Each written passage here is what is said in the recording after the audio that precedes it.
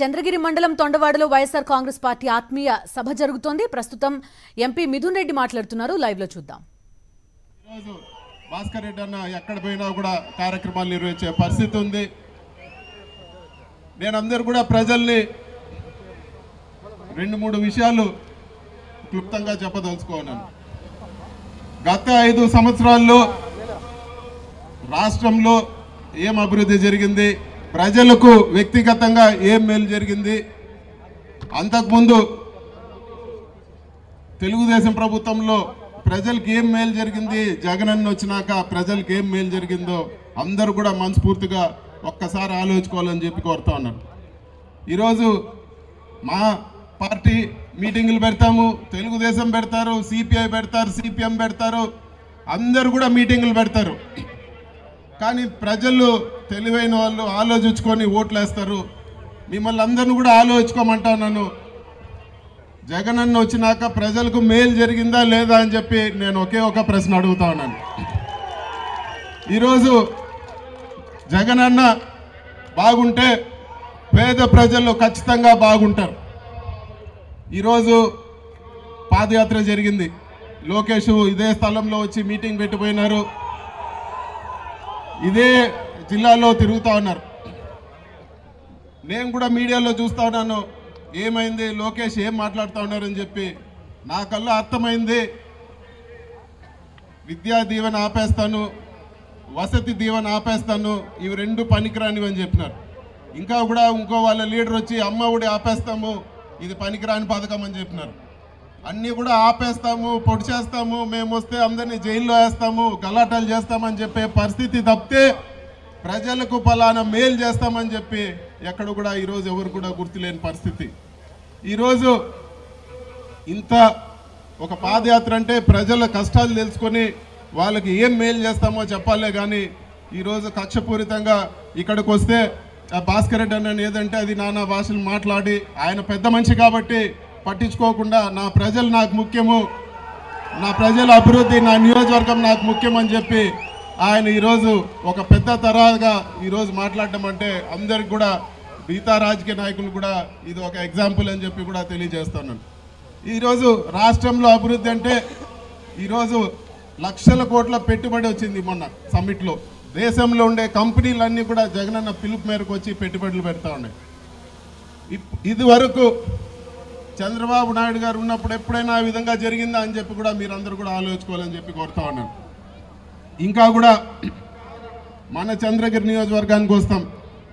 ఈ నాలుగు సంవత్సరాల్లో భాస్కర్ రెడ్డి అన్న మీకు ఎంత డెవలప్మెంట్ చేసినాడు? గత ఐదు సంవత్సరాల్లో తెలుగుదేశం ప్రభుత్వం ఉన్నప్పుడు మీకు ఎన్ని రోడ్లు వేసినారు మీ ఊర్లో? మీకు ఎంత అభివృద్ధి కార్యక్రమాలు జరిగినాయని చెప్పి కూడా మీరందరూ కూడా ఆలోచించుకోవాలి. ఒకటే ఒకటి అడుగుతాను. కరోనా సమయంలో ఒక భాస్కర్ రెడ్డి అన్న తప్పితే తెలుగుదేశం నాయకుడు ఎవరైనా ఇంటి తలుపు తట్టి మీకు ఏదైనా ఇబ్బంది ఉందా? మీకు నేను ఏమన్నా సాయపడాలని అని చెప్పి అడిగిన ఒక్క వ్యక్తి ఉన్నారు అని చెప్పి కూడా మీరు ఆలోచుకోవాలని చెప్పి కూడా కోరుతా ఉన్నాను. ప్రజలందరినీ కూడా నేను కోరేది ఒకటే. ఈరోజు మేము వాగ్దానాలు ఇస్తాం మేము చెప్తాము. ఆపోజిట్ వాళ్ళు కూడా వచ్చి అది చేస్తాం ఇది చేస్తామంటారు కానీ మీ మనసుకు తెలుసు మంచి వ్యక్తి ఎవరు? మంచితనం ఎవరు చేతి ఉంది? చెప్తే పనులు ఎవరు చేస్తారో అని చెప్పి ఈరోజు మీరు ఆలోచించుకోవాలా? ఈరోజు తెలుగుదేశం రెండు వేల పద్నాలుగులో చెప్పింది మేము బంగారు రుణాలు మాఫీ చేస్తామని మహిళలందరికీ డ్వాక్రా రుణాలు మాఫీ చేస్తామని చెప్పి మహిళలందరికీ చెప్పినారు. రైతు రుణాలంతా మాఫీ చేస్తామని చెప్పినారు. కానీ ఎక్కడన్నా ఒక్క రుణం మాఫీ అయిందా మన చిత్తూరు జిల్లాలో? అని చెప్పి నేను అడుగుతా ఉన్నాను. ఇంత దారుణంగా ఏవైతే వాగ్దానాలు చెప్పి అధికారంలోకి రెండు వేల పద్నాలుగులో వచ్చినారో మళ్ళీ ఆ మాట ఎత్తలేదని చెప్పి కూడా మనం అందరూ కూడా గుర్తుపెట్టుకోవాలి. ఇప్పుడు మళ్ళీ వస్తున్నారు నేను అది చేస్తా ఇది చేస్తా. బంగారం రుణాలు ఇస్తాను అది ఇస్తాను ఇది ఇస్తాను అన్నీ చెప్తారు. కానీ మీరు ఆలోచించుకోండి. ఈరోజు ఒకే ఒక వ్యక్తి జగన్మోహన్ రెడ్డి గారు ప్రతి గోడకు కూడా మర్చిపోకుండా మేనిఫెస్టో అంటే మళ్ళీ ఎక్కడన్నా మర్చిపోతారని చెప్పి ప్రతి ఆఫీస్లో ప్రతి సచివాలయంలో ఈరోజు ప్రభుత్వ మేనిఫెస్టో గోడకు అతికించడం జరిగింది. ఏ ఒక్క పాయింట్ మిస్ అయినా నన్ను అడగమని చెప్పి జగనన్న చెప్తా ఉన్నారు. ఈరోజు అన్ని పార్టీల వాళ్ళకి ఇంకా చెప్పాలంటే సగం తెలుగుదేశం పార్టీ నాయకులకే ఈరోజు ప్రభుత్వ పథకాలు కూడా వస్తూ ఉన్నాయి. ఈరోజు జగనన్న ఏదైతే మాట చెప్పారో ఏ కులం చూడం మతం చూడమని అదేవిధంగా ఈరోజు రాష్ట్రం అంతా కూడా పరిపాలన జరుగుతూ ఉంది. నేను ఒకటే మీకు అందరు కూడా చెప్పేది ఒక మంచి ప్రభుత్వం ఒక మంచి నాయకుడు మన భాస్కర్ రెడ్డి అన్న ఖచ్చితంగా మీ ఆశీస్సులు ఉండాలా?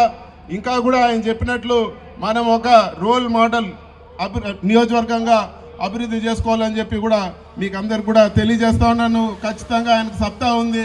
ఇరవై నాలుగు గంటలు ఈరోజు ఇక్కడ ఉంటే రేపు విజయవాడ అంటాడు మళ్ళీ ఇంకో ఊరు అంటాడు.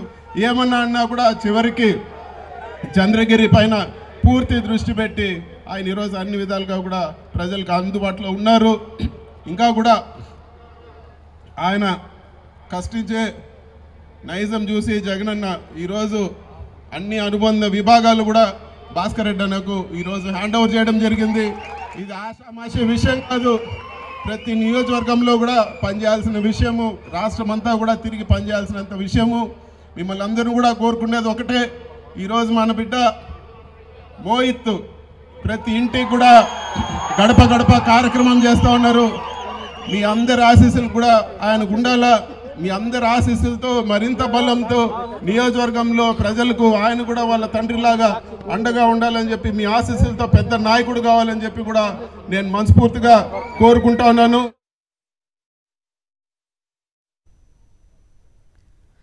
చంద్రగిరి నియోజకవర్గ శ్వేతపత్రం విడుదల చేశారు. వైఎస్ఆర్సీపీ ఆత్మీయ సభలో ఎంపీ మిథున్ రెడ్డి మాట్లాడడం ఇప్పటి వరకు లైవ్లో చూసాం చంద్రగిరి నియోజకవర్గాన్ని అన్ని రకాలుగా అభివృద్ధి చేస్తున్నట్టు తెలిపారు ఎమ్మెల్యే చెవిరెడ్డి భాస్కర్ రెడ్డి. నిత్యం ప్రజలకు అందుబాటులో ఉంటూ ఎక్కడ ఏ సమస్య వచ్చినా తాను ముందుంటానని తెలిపారు చెవిరెడ్డి. ఈరోజు మేమందరూ చెప్తున్నా అభివృద్ధి చేస్తానో చేయబోతున్నానో ఎన్నికలు వచ్చాయి కాబట్టి మాటలు చెప్పే వ్యక్తి మీ భాస్కర్ రెడ్డి కాదనే విషయం మీకు తెలుసు. ఈ మూడున్నర సంవత్సరాలుగా చంద్రగిరి నియోజకవర్గంలో ఒకటైతే స్పష్టంగా చెప్పదలుచుకున్నాం. ప్రతి గ్రామంలో ఈ రాష్ట్రంలో ఎవరైతే చంద్రగిరి నియోజకవర్గంలో అభివృద్ధి జరుగుంటే చూపించమని ఎవరైతే అడిగారో వారికి మీకు మన ప్రజల ద్వారా తెలియజేస్తున్నాం మీ అందరి ద్వారా తెలియజేస్తున్నాం. ప్రతి గ్రామ పంచాయతీలోనూ ఒక కళ్యాణ మండపం కట్టించారు రాష్ట్రంలో ఏ నియోజకవర్గంలో ఉందో చూపించమని చెప్పండి. ప్రతి పంచాయతీలోనూ ఒక యోగా ధ్యాన మందిరం కట్టించారు. ప్రతి పంచాయతీలో యోగా ధ్యాన మందిరం కట్టించారు. ప్రతి పంచాయతీలో ఎవరైనా చనిపోతే పదకొండో రోజు చేసుకునే కర్మక్రియల భవనాన్ని కట్టించారు. ప్రతి పంచాయతీలోనూ కట్టించాం ప్రతి పంచాయతీలోనూ ప్రతి పంచాయతీలో కాదు ప్రతి పంచాయతీకి రెండు మూడు లెక్కన రెండు వందల యాభై అధికారికంగా ఆరో వాటర్ ప్లాంట్లు పెట్టించాం. ఏ పంచాయతీలు ఏ నియోజకవర్గంలో ఉన్నాయో కుప్పంలో ఉన్నాయమని చెప్పమని చెప్పండి. తన పద్నాలుగైన ముఖ్యమంత్రిగా ఉన్నప్పుడు.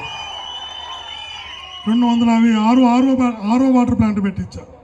ప్రతి పంచాయతీలోనూ ఓపెన్ జిమ్ములు పెట్టించబోతున్నాం.